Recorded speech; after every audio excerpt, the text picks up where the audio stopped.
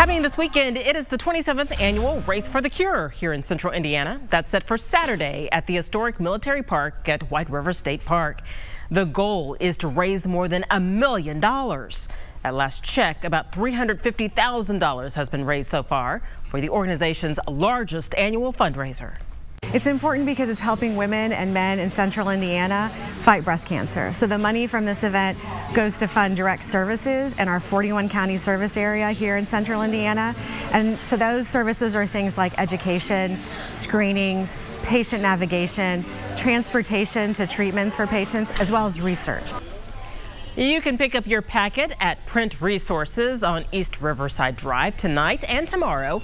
You can also get it on the day of the race. There's also still time to sign up online, but prices go up after 6 tomorrow night. Kevin? I'm